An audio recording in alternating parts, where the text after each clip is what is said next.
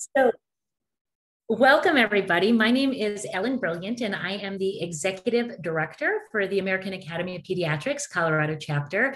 Um, we are really appreciative of everyone joining us today um, to talk about food security um, and poverty and ways that we can help mitigate um, the challenges faced by uh, the children whom we serve and the families whom we serve.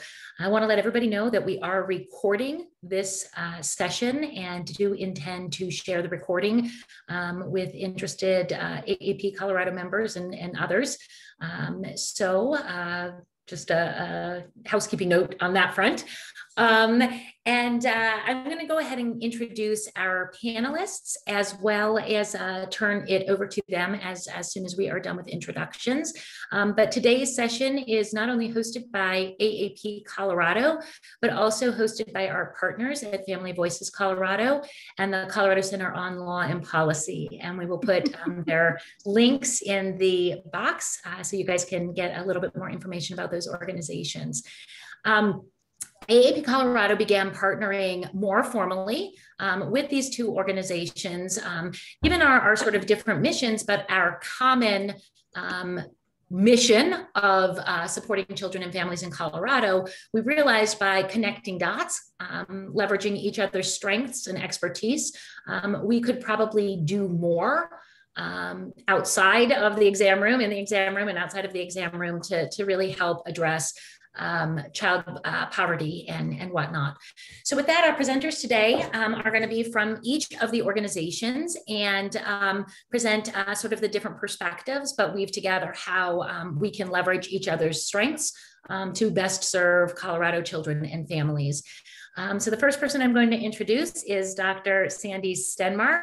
Many of you know Sandy um, from her great work as a pediatrician and champion of food security and nutrition and obesity prevention um, from her work over the years. Sandy serves as the AAP Colorado's champion on um, food security. So we are thrilled that Sandy is here and leading the charge um, for this session today.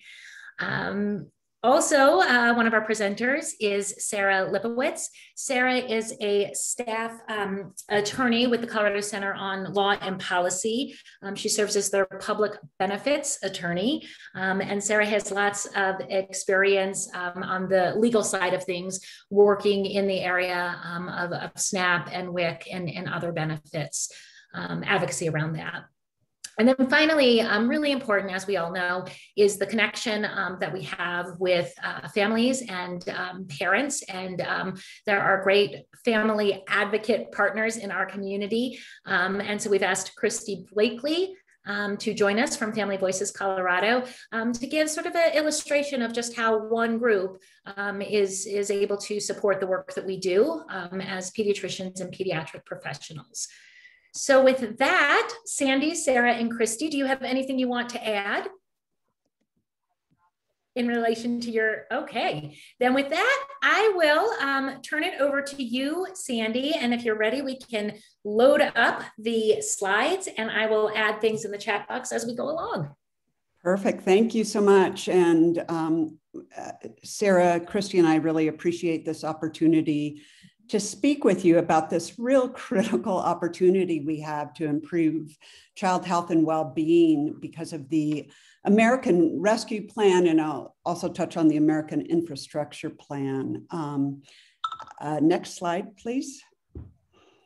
Um, we wanted to just start um, this talk off by um, asking a question about what are you either doing or do you think are effective practices to reduce poverty and food security in households with children? Um, and Leisha will launch the poll. So it's either screening all families um, for both, giving families resources who screen positive, promoting SNAP-WIC and the child tax credit, facilitating enrollment, or integrating WIC with healthcare.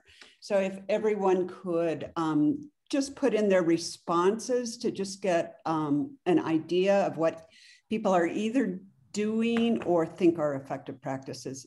Um, you can answer it anyway.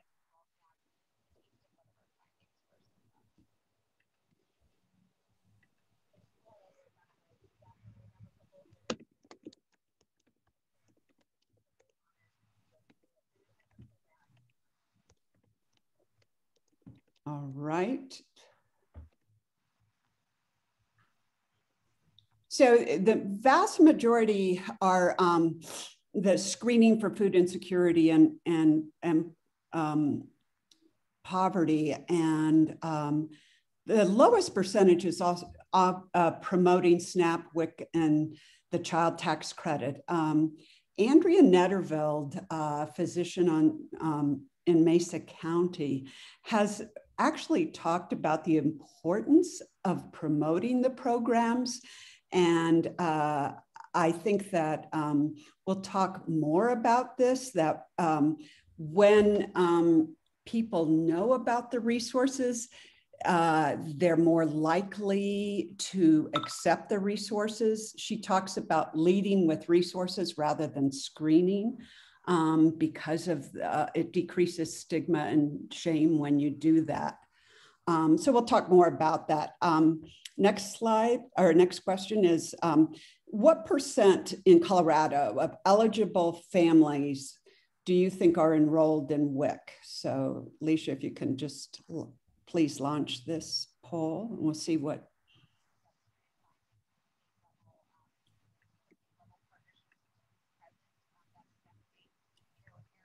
Okay, do we have? um, it's it's actually 50%. So there's real opportunity in Colorado when we know that um, I actually um, and it changes by age. By the age of four, uh, only um, 7% of ch eligible children are enrolled in our state. Um, so next question is the same question about SNAP. So what percent of your of eligible Medicaid members in Colorado are enrolled in um, SNAP? So if you can go ahead and um, enter that, uh, our um, percentage is uh, really mirrors the national percentage. All right, do we? Uh, uh it's uh, it actually is 45%, so it's even lower than 50%. So again, a huge opportunity to um, when we have food pantry lines that are growing, yet the, we're leaving federal dollars on the um, table, we're not enrolling people in effective programs that we know improve food security. We have a real opportunity to sort of shift how we're thinking about this. And then the last question is, um, what percent of your Medicaid members do you think are eligible for WIC?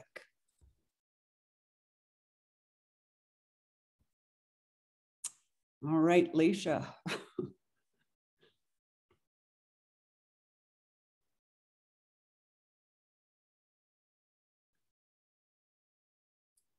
I apologize. I think we misloaded that question. We might need people to put their responses in the um, chat box for this one. Oh, it's all right. Sorry. Uh, no worries. It actually is um, all of Medicaid members are eligible for WIC. So again, it changes the opportunity um, to rather than screen for food insecurity, we need to be promoting WIC and all the health benefits and enrolling people rather than um, having the multiple steps with food insecurity screening. Again, much more strength based to ask if you're enrolled. All right, um, next slide, please. So a, a, a little background information. Uh, uh, you know, unfortunately, um, childhood poverty is uh, a huge problem of any dem demographic. Um, children in our richest country in the world are the most poor. This is before COVID, and you can see average uh, child poverty uh, rates are 15%. And um, sadly, you also see the huge disparities. Um, obviously, policies and investments, uh, the way um, the United States has done that has resulted in these horrible disparities that you see with um, one fourth of uh, Black children living in poverty. Um, uh, the, something to note is that um, obviously race and ethnicity um, impact your poverty uh, levels. But other things, other populations that are more at risk are if um, parents have mental health issues, complex medical issues, or if the children themselves have complex medical issues, they're more likely um, to be in poverty. I, I don't know if any of you went to this, but 10 years ago, Children's Hospital did a grand rounds on reducing uh, poverty. And uh, a British physician talked about how Tony Blair had committed to having poverty in a decade, and he was successful. And some of the policies that the American Rescue Plan and American Infrastructure Plan are modeled on those successful policies of decreasing poverty. Um, next slide, please. Um, as you can see on this slide, um, the COVID pandemic markedly increased um, child food insecurity and the disparities. So um, this is pretty startling because most most of the time, what the statistics that are shared are um, uh, how households with children are impacted. And you can see that um, third, uh, almost a third of Black children are struggling um, to afford food, and uh, Hispanic next, uh, with white children the least impacted. Um, next slide. Um, obviously, poverty and food insecurity are not good for your health. If you haven't read these two American Academy of Pediatric um, statements, uh, policy statements, they're wonderful on poverty and on promoting food insecurity. They're both uh, connected with poor health outcomes, lower birth weight, actually, even um, structural brain um, changes. Um, lower educational attainment and a greater likelihood of risky behaviors. Um, a real important concept is the earlier in life um, poverty or food insecurity occur and the longer exposure, the greater the risk. Um, so uh, similar to the uh, another AAP uh, that I should have included was the nutrition in the first 1,000 days, a really key um, time to make sure that children are doing well during that period. Next slide. When, when we think about um, poverty and why poverty is associated with poor child outcomes, there are two pathways to think about. One is the investment pathway. So, can parents afford uh, childcare or, or, early childhood education? We know in Colorado there's many um, child care deserts. Uh, so people have uh, very limited um, patchwork arrangements. Um, do they have the money to buy nourishing food? Do they have the money to allow their children to, uh, to participate in after school and summer programs? Um, while I was a pediatrician, I couldn't believe the change in um, sort of what everybody says pay to play. Many um, school public school districts are now charging $100 or more per sport, which uh, prices children out of these opportunities. So, definitely not having income. Another thing to think about, though, is, is the stress pathway so that we know if you live in poverty or struggling to uh, afford to feed your children, um, you, you're incredibly stressed. As we all know, if we can all imagine all of our lives during COVID, the stress of just having to do that one adaptation made every task uh, just a little bit more complicated. So when when families are really stressed and trying to make ends meet, they don't have um, the bandwidth to as much bandwidth to meet their child's needs to parent them to provide for them and um, i think that uh, that's another um, pathway to poor child outcomes uh, next slide Well, the good news is the American Rescue Plan is really a game changer and an incredible opportunity. Um, it's predicted to decrease child poverty by 40 to 50% with its key programs. But this reduction will only occur if um, all families take advantage of it. And this is where your help um, as um, pediatricians, healthcare systems are, are needed. Um, there, there's two groups. There's the increase and expansion of um, the tax credits and the um, increase in the federal nutrition assistance benefits. The biggest ticket item is the increase in the child tax credit. So previously, the child tax credit only uh, it did not include a third of the poorest children in our country predominantly children of color you had to make a certain amount of income to be eligible for this so this tax credit which is a significant amount of money as um, especially if you combine it with the earned income tax credit could really lift families that were never eligible for this benefit out of poverty.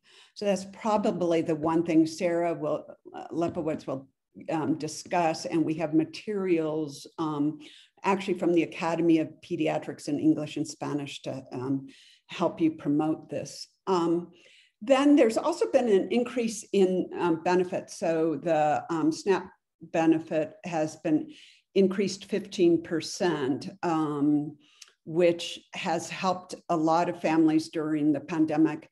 And um, the fruit and vegetable for the WIC program has also been increased.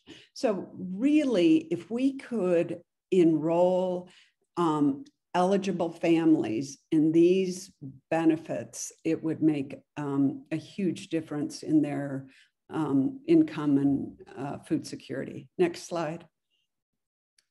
I have to say that I was embarrassed that I really did not know until uh, a, a few years ago this literature well. And um, I've put in three uh, really uh, good um, articles. Um, the Center for Budget and Policy Priorities summer, beautifully summarizes the information, all the research on WIC and SNAP and um, in about four pages, um, the uh, other, uh, the roadmap to end child poverty or to reduce child poverty is another great document if ever you need any resources. But what I wanted, what these articles all talk about is that all of these programs improve food and economic security. They all decrease low birth weight.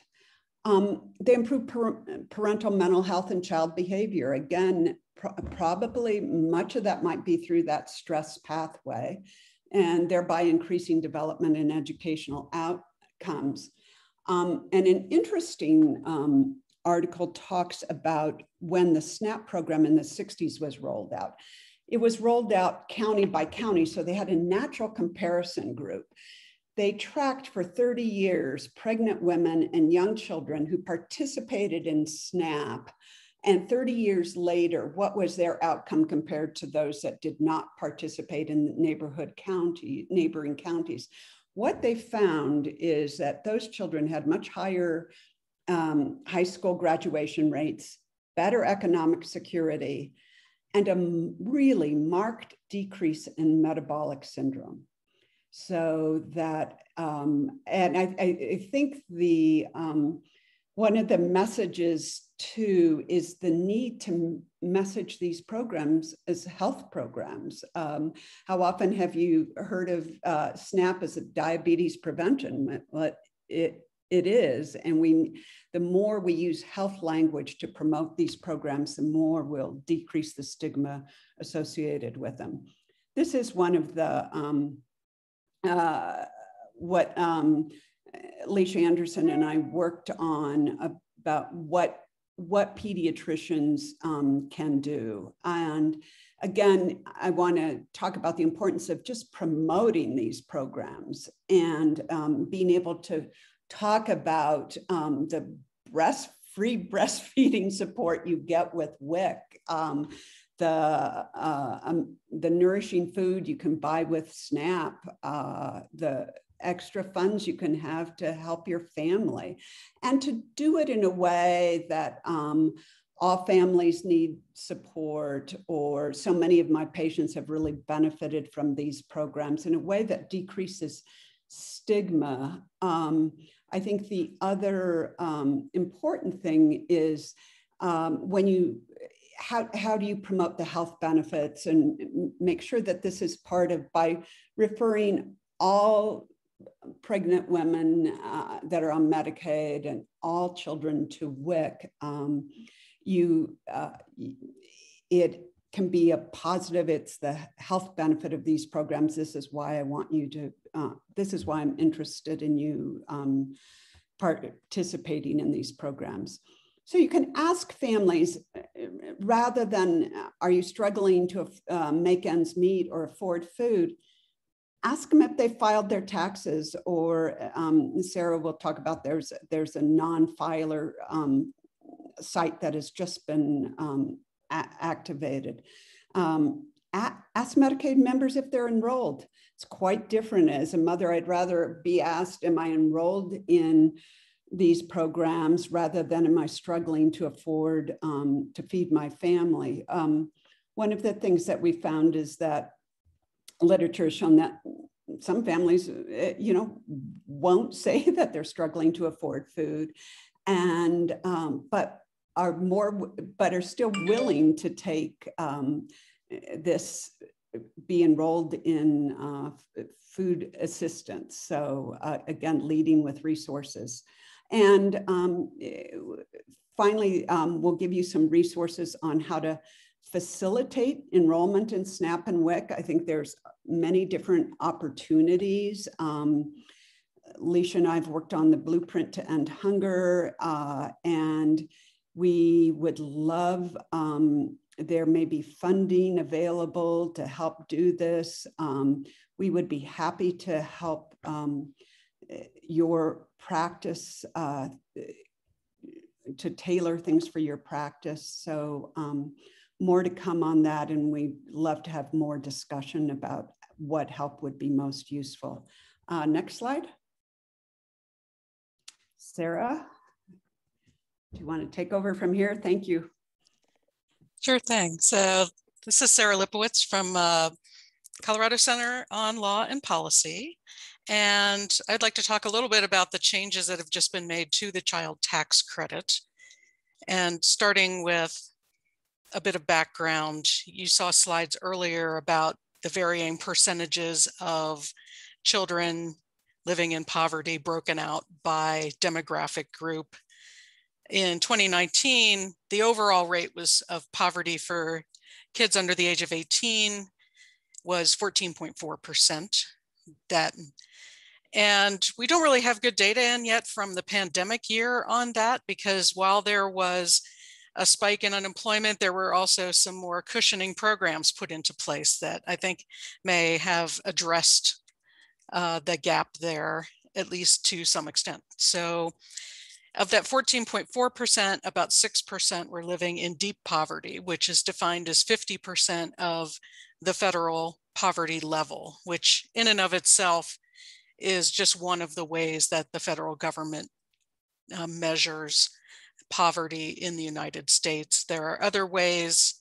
Some folks think, and I'm one of them, that there are better ways that incorporate more up to date ideas of uh, what living in poverty actually looks like. But the federal poverty rate is used for these programs that we're about to talk about. So that is the main one that we're going to talk about today. And what we've seen is that cash transfers are effective in moving children out of poverty. If uh, you ever get a chance to take a look at the report that Dr. Stenmark referenced, the roadmap to ending child poverty, I believe there was a link in the materials. It's very lengthy. You don't have to read the whole thing. It's got a good executive summary, but it talks about uh, the ways in which these programs can be improved and expanded and how many children would be lifted out of poverty just by doing that. So to get the child tax credit, it says that the credit will now reach the poorest families or more of the poorest families. To do to reach those families, the yearly income that you had to make to qualify was lowered to $2,500 a year. And it starts to phase out at household incomes of about 200,000. So a vast range of families are going to qualify. Most families with children are going to qualify. Uh, families that are not accustomed to filing taxes because there is a certain threshold amount below which if you don't make much money, you don't have to file your taxes. There are services that we have referenced here in the materials to help people do file their taxes and to get advice on how to do that. Uh, people who are experiencing poverty don't usually have complicated financial reporting that they have to do. So their, their tax forms are usually pretty simple to handle and there are resources out there. Um, tax credits are one way of addressing uh, poverty. The problem with them is that they only benefit people with income. There are households that have no income at all. And there are, but I do think that lowering this income amount is going to push it to uh, many, many more families. Also, something to talk about on the child tax credit is you don't need a social security number to qualify for it. There is an alternate number that people who don't have a social security number can obtain from the IRS. There's directions on their website on how to do that. You are actually whether you're documented or not, you are required to file taxes if you're here. So there are quite a number of families who do use an uh, what they call an ITIN, this alternate number. And so people can obtain one of those and they can get the benefits of the child tax credit. Uh, next slide, please. The earned income tax credit is a similar sort of uh, assistance for people who are uh, working or have at least a small amount of income. And that's been increased, as you see on the slide here, you know, um, from about $500 to about $1,500. That's quite a benefit for many families. The problem with the earned income tax credit is that you do need a social security number to qualify, but they're, so they're not gonna take that, that alternate number, but you can still get the child tax credit, which I think would come out to be quite a considerable amount of money, even without the earned income tax credit layered on top of it. Uh, next slide, please. So just to talk a bit about SNAP. SNAP is the, it stands for Supplemental Nutrition Assistance Program. It is the largest anti-hunger program in the United States and also in Colorado about 460,000 individuals in Colorado are receiving SNAP. Probably that's gone up a bit during the pandemic. And there's also, uh, as you saw earlier, there are people who are eligible who don't know that they're eligible and that they could be getting the benefits of the program if there was uh, outreach that got to them about the program itself. So as you see here, majority of Medicaid members are eligible. So those folks that you're seeing in your office, they, if they are on Medicaid, that should be a good signal to say, you know, this is something else that I really think you ought to look into. I think that those words coming from a doctor actually help decrease the stigma of signing up for programs. And maybe Dr. Stenmark can talk a bit about that, but uh, that person is often a trusted individual, someone who can reach who can reach clients on a level that that perhaps you know just going into the benefits office with the stigma attached to that maybe is it's going to help them overcome that which is part of the reason we're doing this presentation today because i think you all out there have a great potential to make a big difference. There are by virtue of qualifying for SNAP, you also qualify for uh, school meals and pandemic EBT, which is a form of uh, school meals that people are getting electronically on their benefits card to make up for the fact that schools were closed. They have been able to receive the cash value of the meals that children would have been receiving if they had been able to be at school in person. EBT stands for Electronic Benefits Transfer Card and is a card that works like a debit card. SNAP funds go onto that card. Also, some of the other programs that we're not really going to talk about, but which are aimed at families such as temporary assistance uh, to needy um, TANF. What does that stand for? Gosh, I'm blanking right now. Temporary aid to needy families. Sara. Thank you. Thank you. So many acronyms. So many acronyms. So that is a that is a, a cash program that goes to families and people who get TANF also get SNAP. SNAP is aimed at uh, food purchases only. So on the EBT card, the SNAP money is different from the TANF money. TANF money can be used to buy food, but it's but SNAP money can only be used to buy food and only certain kinds of food.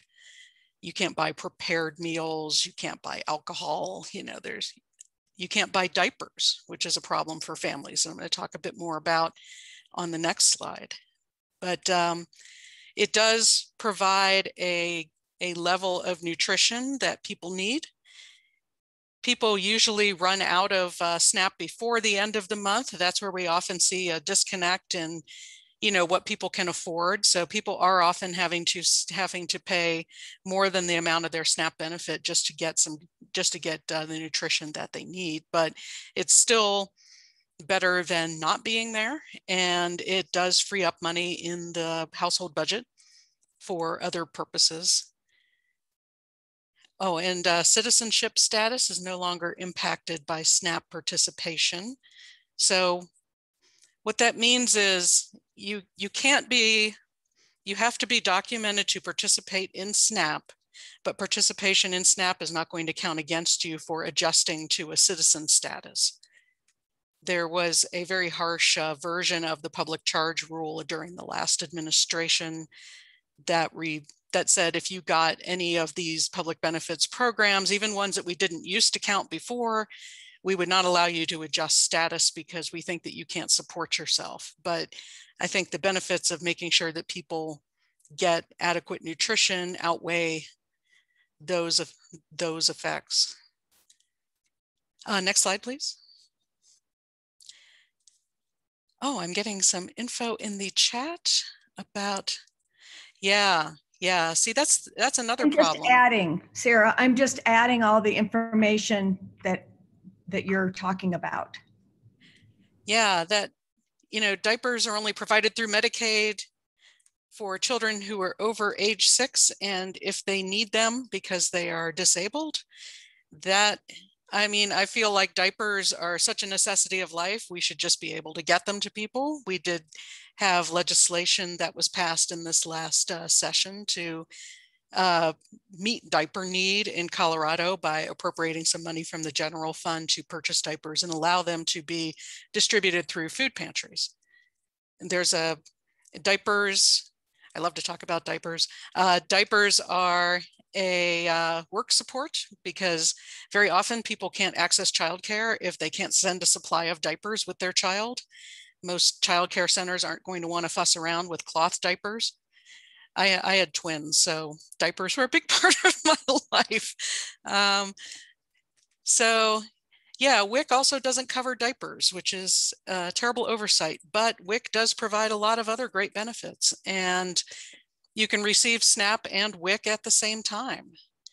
So people sometimes don't know that.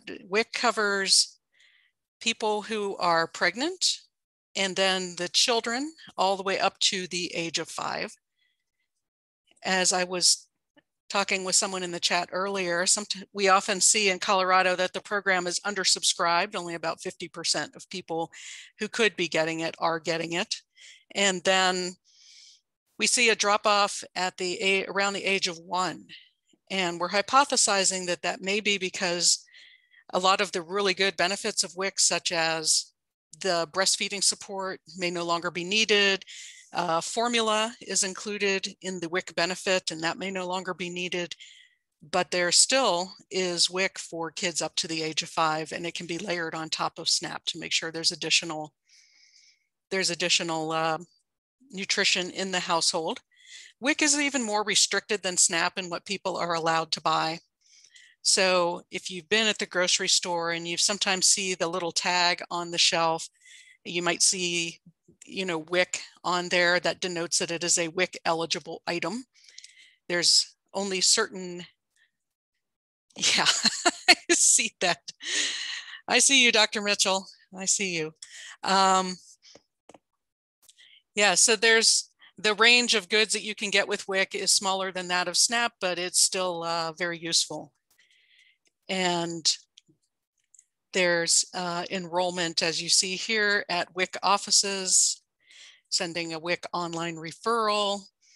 There's various ways of signing up for WIC, and it's a program I'd like to see more people be involved with. Uh, next slide. Okay, I will turn it over to Christy.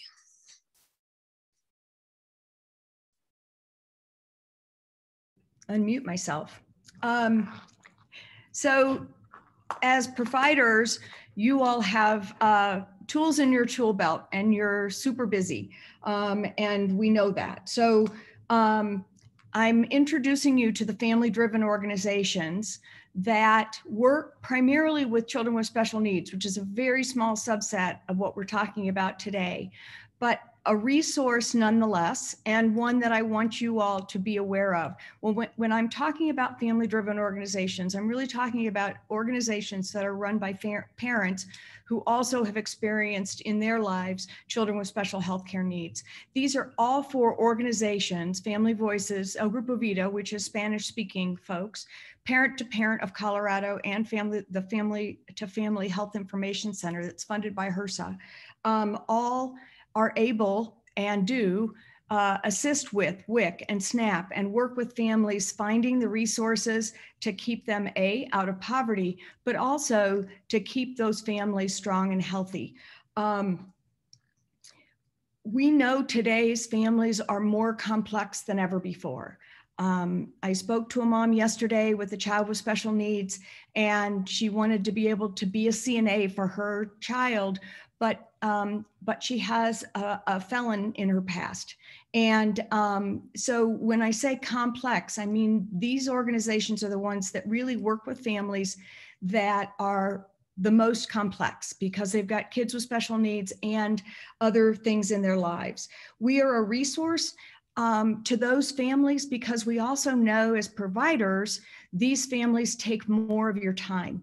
Um, and so I ask that you refer to these to these family-driven organizations. We we talk about Medicaid waivers. So those are children that are on Medicaid, but the income of the family may or may not be Medicaid eligible. But because of the child being at an institutional level of disability, those families, those kiddos are on Medicaid and do qualify for the services we're talking about. Um, we had Sara from CCLP, the Colorado Center on Law and Policy. Um, they aren't necessarily somebody we refer to, but I couldn't do the work of Family Voices Colorado without uh, CCLP in as a wingman. They're the ones that are barrier barrier busting and finding the issues and needs in the state of Colorado, the barriers, the things that aren't working right, and then they take that in a policy way um, and fix it or work to address it. Um, and many of these family driven organizations work very closely with CCLP, which is why they're an expert in this work. Um, we understand these families take more time, but we wanted to give you these resources because we're asking you to also look at all these other families that may have food insecurity, housing insecurity, financial problems, and we want you to be successful at what you're doing. And we appreciate what you're doing because you all are really the cornerstone to many, many families and what they're able to do. Any, anything else that you all want me to add to that? Okay, then we're going to go to the next slide. Thank you, Christy and Sara. Um, the other, uh, besides um, learning from you, which we will do after, uh, after this slide, um, the other opportunity I want to talk about is um, how important it would be for you to become an advocate. Um, the child tax credit is only through this year. Um, uh, so it will be important as advocates to make sure there is either a child tax credit or a child allowance um, and to stay involved with that as, and, and, through the Academy of Pediatrics um, that can occur. Um, and, and, again, as um, Sara talked about, or the SNAP and WIC benefits really aren't adequate to, for food security. So how do we make sure that we lobby and um, make sure the benefits um, are adequate? Um, uh, there is um, the Blueprint to End Hunger is working on this. And there's a group that's just coming together if anybody's interested in participating on um, uh, it's event. It's a joint effort between the Colorado Medical Society, uh, the Blueprint End Hunger, and Nourish on how we can get um, more nutritious food in our state to SNAP recipients. Um, obviously advocating for a living wage so uh, people don't need the benefit programs um, would be is important uh, advocating for quality early childhood education for all children. Uh, this is part of the infrastructure bill. And so it's really important to lobby, um, uh, to write your um, Congress people to about this infrastructure, which um, again is so critical and so many other countries this is a, a, given it's our country that it's that it's not and lastly i know many of your health systems are um, providing um, long acting reversible contraception to adolescents asking for that and some on the same day uh, basis. And, and we know that this is another huge poverty reduction um, uh, practice that um, many of you, and we need to continue to make sure that people have access to these services. Um, so we, what we'd like to do now is really open it up with um, understand your ideas, what's working well in this area in your practices, where you see opportunities, and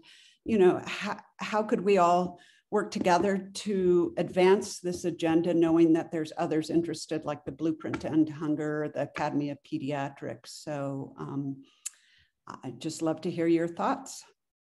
Thank you, Sandy. So I'm going to um, just give a, a, little heads up to our presenters that um, we will conclude our session at uh, 1:15 with maybe a final word from each of you as to what would be the key pearl you would want participants to take away. There's lots of information that we've shared today.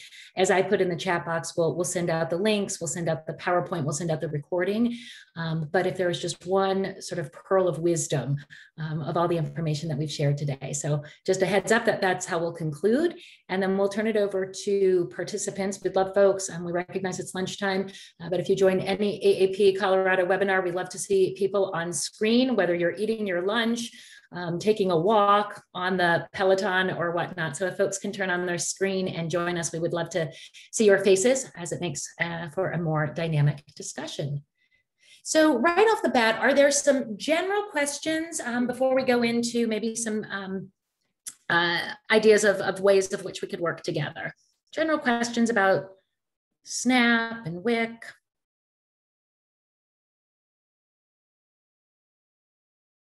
What about um, success stories?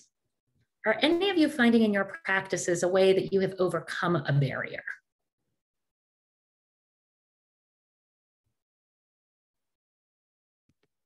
Um, I'll say, uh, I think I met with you guys uh, a little bit ago, but I, have been able to start actually signing people up for WIC. Um, and I think one of the more helpful things is actually to um, start promoting them as health um, health programs and, you know, looking at, I can see what their insurance is and I see it's Medicaid and then I can say, hey, um, are you signed up for WIC? Are you signed up for SNAP? And if they say no, it's saying, all right, let's do it right here in the office. And I've been able to sign up a few families, which is pretty exciting.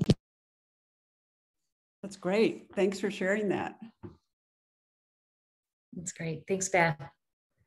Carol, do you want to talk about uh, Denver Health? You have a lot going on there. uh, Dr. Stenmark, you're putting me on the spot. uh, um, I just for a little bit of background, I'm not a primary care pediatrician. Um, I, uh, I work in the hospital and I'm an ICU physician, uh, but got interested in programs, um, WIC and SNAP. Um, and so things that we have at Denver Health is that we have co-location of WIC uh, in our practices, which allows the families to hopefully easily enroll um, with the co-location of those offices where primary care is delivered. Um, and then in addition, um, from the inpatient standpoint, one of the things that we've worked on is having WIC available to moms that deliver here at the hospital.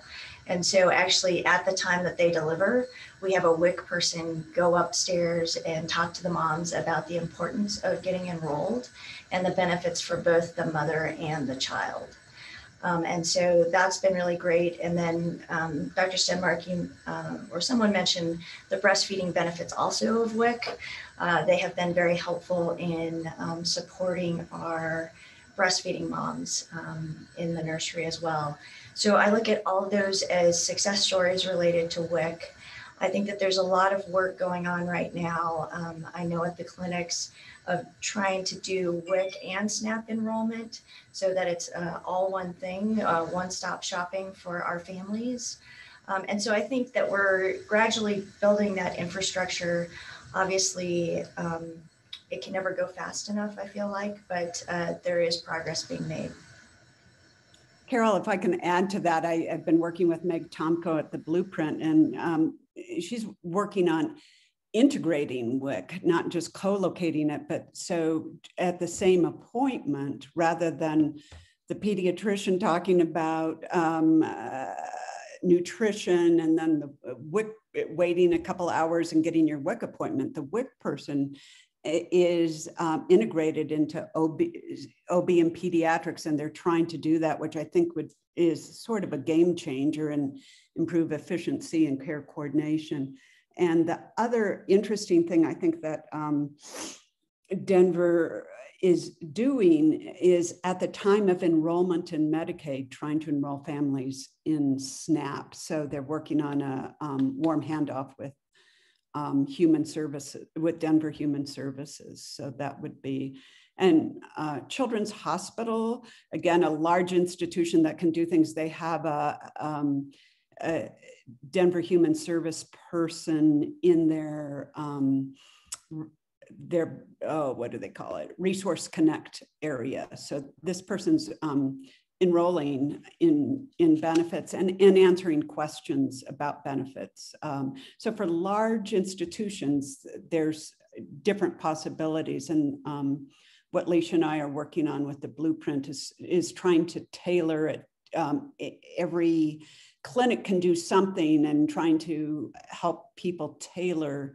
to what meets your needs. And then, um, if interested, uh, is an expert on process improvement, which um, I think is uh, one thing that we did find when we uh, were evaluating Children's Denver Health and Kaiser did food insecurity screening and referral to Hunger Free Colorado about uh, eight years ago. And it would resulted in very low enrollment in SNAP. So this is why we're trying to instead say, can we promote these programs and facilitate en enrollment in a more strength-based approach? So um, others, uh, thoughts about um, either success or what would be needed to help advance this work in your practice?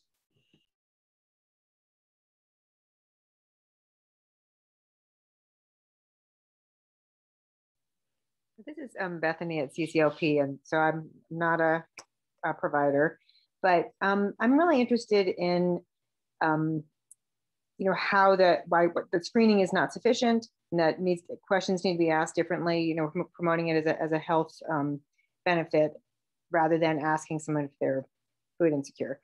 Um, and you know, there's so much work going on at, at healthcare policy and financing about, um, you know, tying screening for social determinants to certain incentives and things like that. But I haven't heard this piece of it discussed. And I think that's really important that that's understood by the people that are designing these um, programs and quality measures and incentives that um, questions are asked the right way. So just wondering, um, and maybe because you know people on our staff are involved in some of those other efforts. Um, so what we can do to get the word out more broadly so that it's done systematically as much as we can. We, we'd love to connect with you. We have um, some people um, from uh, on the blueprint to end hunger, but I, I, I agree. I think that um, I worry knowing what the outcomes were before and hunger free colorado that is a great organization but what happens with the food insecurity screening and referrals there's so many drop-offs right mm-hmm. you go from the physician to the community navigator to hunger free and eventually the state and when we interviewed at Kaiser, the Medicaid members, they talked about the confusion with the whole process and the different drop offs made it really frustrating and difficult for them to navigate. And um, we recently interviewed um, uh, to understand best practices, and it was people that were consistent to help in, enroll families through the whole process. They didn't just um, drop them off, like the Nurse Family Partnership uh, uh, made sure that they promoted the program, helped start the enrollment, followed up to see, and, and just the general support. One of the thing opportunities I think is why don't we incent uh, the number of Medicaid members who are enrolled in WIC. And let's not incent, let's incent outcomes, not screening. Um, I would, and the same for, um, we know we can get eligible SNAP, uh, those uh, Medicaid members that are eligible for SNAP.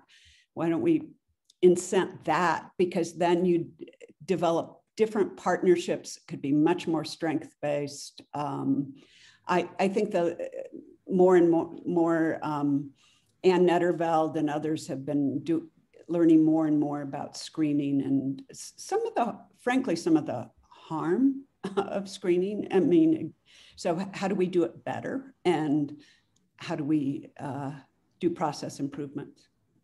Dr. Stenmark, um, we've had a couple comments in the chat that I would like to highlight. Um, one is, is ask, is there a one pager for all of these resources? I don't believe there is because they're all from different funding streams, but I think we could create one from this uh, webinar and, and just and disseminate that through the Colorado AAP. Could we do that, Ellen? Is that possible? I mean, I'm happy to create it. I just mean, you know, because so, a lot of families don't ask because they don't know the the the what age it stops or think, you know, and so they don't want to hear no, so they just don't do it. Or some families are just too overwhelmed. But if we could make a one pager, that might be helpful for families. I'm going to jump in because I would love Leanne to clarify a little bit more. We did include a link um, in the chat to a toolkit um, so I'm not sure if that's, and, and I'll put it back into the box. But Leanne, do you mind coming off um, mute and, and just sharing a little bit more about um, sort of what you were thinking uh, so that we can either direct um, or create? I guess I was thinking of two things. One is so we can move our providers in a different way to ask the question because I'm a behavioral health person and now I'm going to come at it very different than the medical provider will and giving them that tool versus just asking a direct question but phrasing it differently I think that would be really helpful to give them a script because change is hard for all of us and we need those prompts. And then the other thing was a one pager with um, all the different websites because I think being in rural Colorado, we're really limited on our resources. And so my biggest challenge is connecting families with special needs um, to other families with special needs to get all the resources because we hit so many barriers. And I would love a one pager that says, Did you know that all these things are available in Colorado? And here's some websites so that we as providers, but also as a family, we can hand it to a family, they could look at it, but we can also go over it with them, was my thought. Yeah, Leanne also put in the chat box um, that they have a, a, backpack program that's funded. The backpacks are provided by the local food bank. They put things like formula and and snacks and things like that, and they'll take the backpack, but they won't ask for any additional services. We could put that flyer in the backpack, then they would have it.